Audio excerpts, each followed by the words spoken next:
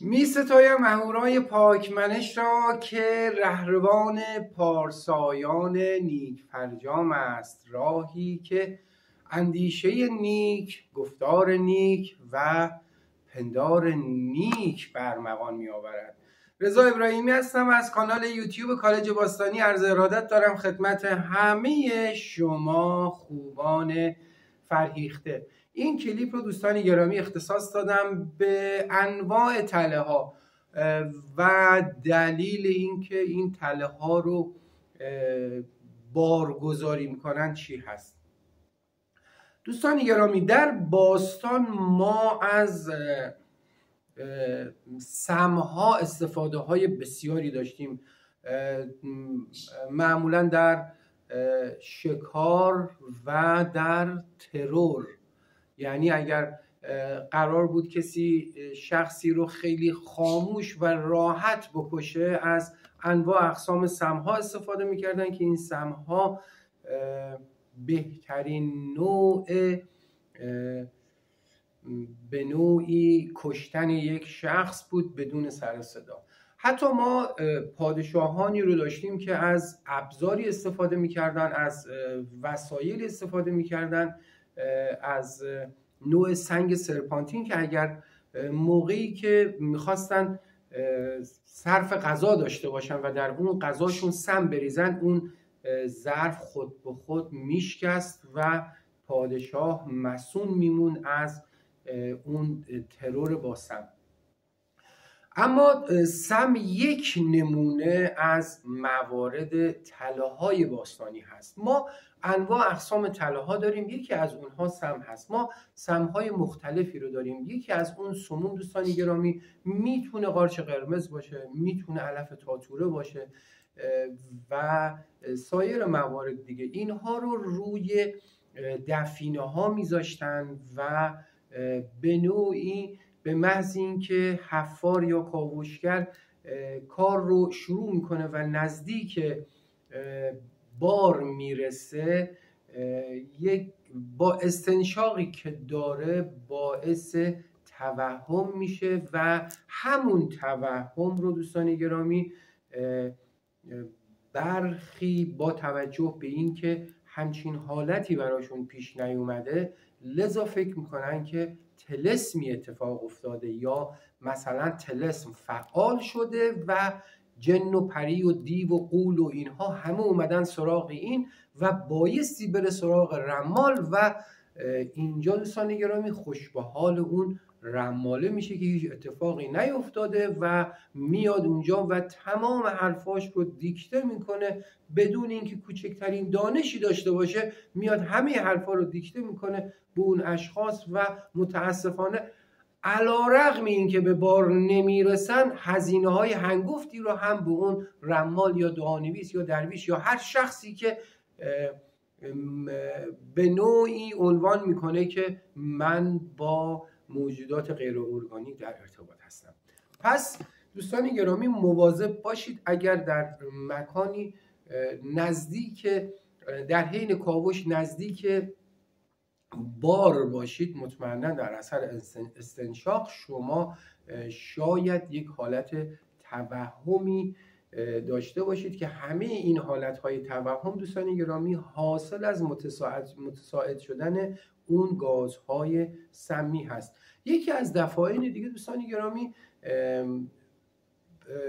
به نوعی وجود حیوانات هست. این حیوانات رو بعد از اینکه بار و دفینه رو در مکان جانمایی کردن میان از انواع اقسام حیوانات خزندگان خصوصا مار، روتیل، اغرب، کجدم و اینجور موارد که اینجور حیواناتی که به نوعی دارای نیش و زهر کشنده هستن استفاده می‌کنن و اونها رو در اون مکان رها می‌کنن و در اثر سالیان سال اینها تکثیر پیدا می‌کنن و به محضی که شما نزدیک اون مکان میشید و مار رو می‌بینید میگید که اه این مار حتما ربطی به دفینه داره و مطمئنا این موکل هست. اصلا ربطی به موکل نداره دوستان گرامی.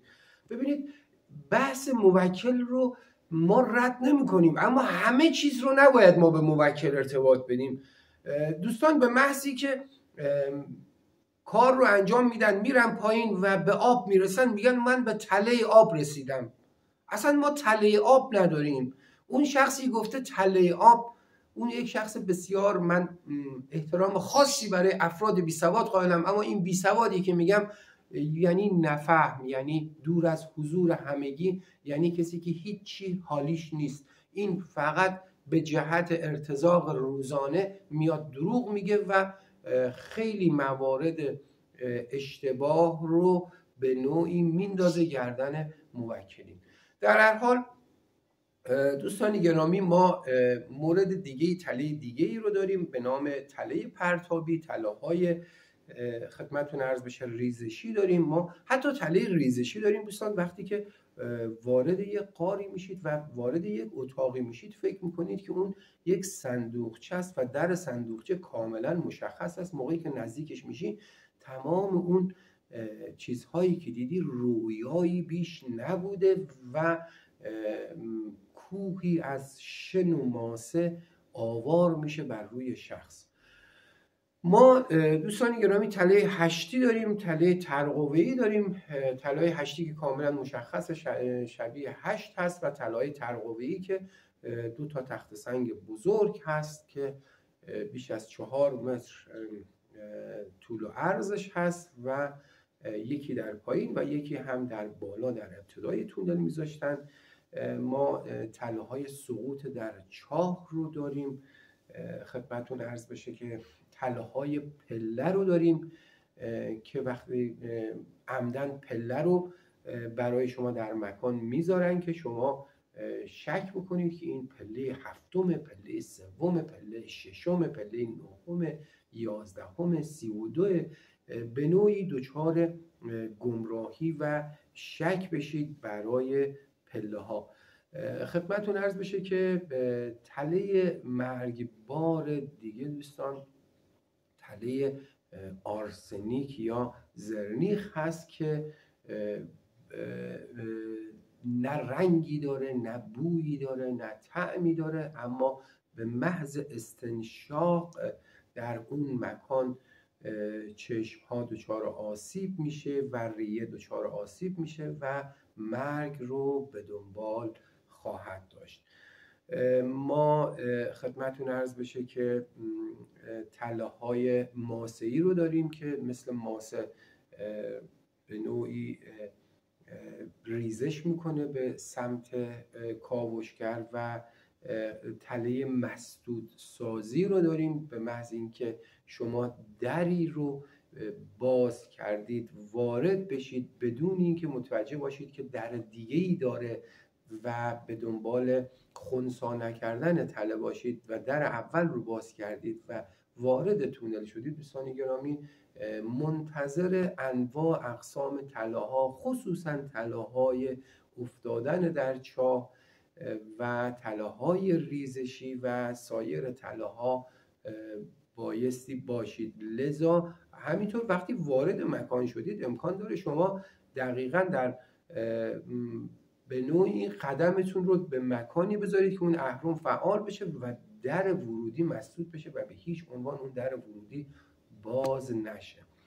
خدمتون عرض بشه که تله دیگه من خدمتون عرض بشه که تله حیوانی هست که همون تله حیوانی همون مارها و سم, سم مارها و کجدم و خدمت شما عرض بشه روتیل ها هستن و تله های قارها. ببینید دوستان در قارها ما انواع اقسام تله ها رو داریم و مرگبارترین تله ها در قارها تعبیه میشه. چرا؟ چون هم خدمه و حشم و خدمتون از بشه معمار و منجم و همه رقم در اختیار اون حاکم محلی یا اون شاه هست و زمان کافی افراد کافی و مکان مناسبی هست برای به کارگیری انواع تله ها لذا کار در قارها دوستان بسیار کار سختی هست و همراه با انواع اقسام تله هاست لذا پیشنهاد می‌کنم که بدون یک کارشناس خبره قار وارد کار قار نشید. معمولا ما برای تله ها انواع اقسام علائمی داریم یکی از اون علائم می‌تونه مار باشه خدمتون عرض بشه یکی از اون علائم می‌تونه قلب باشه و با توجه به نوع محیط موقعیت و شرایط شما بایستی فقط به فکری نباشید که دست پیدا بکنید به اون بار و اون دفینه و خدایی نکرده. به نوعی اون تله ها باعث این بشه که حتی یک قطره خون از بینی خودتون یا سایر افراد بیاد. دوستان گرامی ممنونم از همه شما. like و subscribe یادتون نره. رضا ابراهیمی هستم. مثل همیشه دعای همیشه امضای خدا پای تمام آرزوها و رویاهای شما خوبان عزیز که در سال 1402 مطمئنا تحقق خواهد یافت. حق نگهدار.